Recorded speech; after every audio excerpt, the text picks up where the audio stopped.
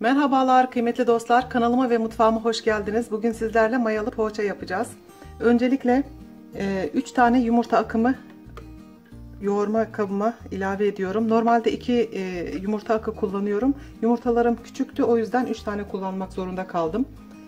1 e, bardak sıvı yağ.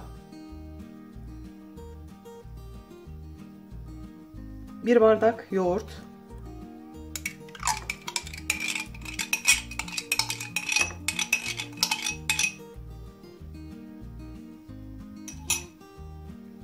Yarım su bardağı ılık su,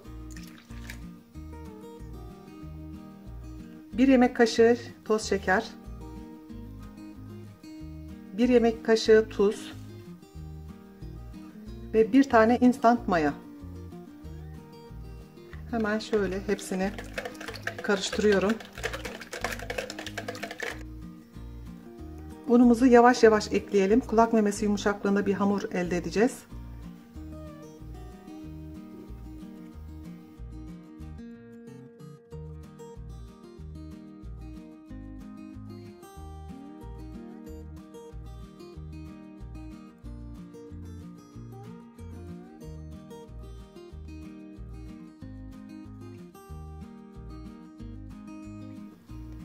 10 dakika kadar hamurumu dinlendirdim. Bir miktar peynirli maydanozlu iç hazırladım.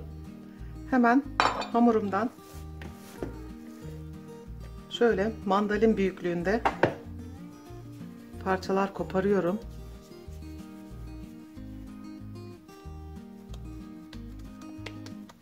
Elimle biraz açıyorum. İçine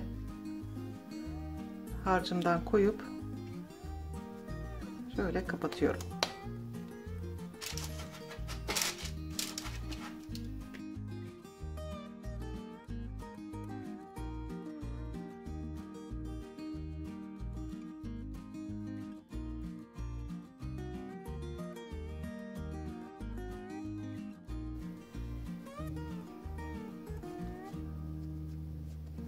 Buraya kadar videomu izlediyseniz eğer kanalıma abone olmayı, beğenmeyi, yorum yapmayı ve zil butonuna basmayı unutmayalım. Hamurlarımızın şekil verme işlemi bitti. Bir saat kadar hamurlarımızın tepsi mayasının gelmesini bekleyeceğiz. Daha sonra da fırına vereceğiz. Bir saat kadar beklettiğim poğaçalarımın tepsi mayası geldi. Hemen üzerine yumurta sarısı sürüyorum. Daha sonra yumurta sarılarını sürdükten sonra daha önceden 180 derecede ısıtmış olduğum fırınıma verip pişmesini sağlayacağım.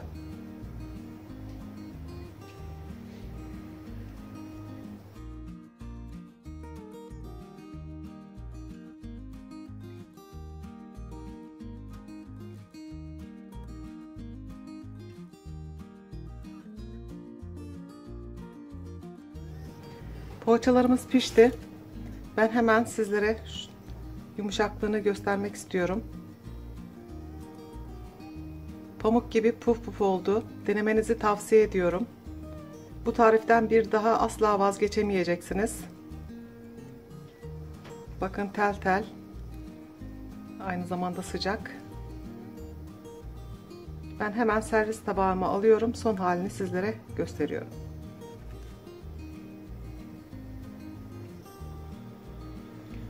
Poğaçalarımız servise hazır. Deneyecek olanlara şimdiden afiyet olsun. Bir tarifin daha sonuna geldik. Yeni tariflerde buluşmak dileğiyle evinizden huzur, sofranızdan bereket eksik olmasın. Allah'a emanet olun.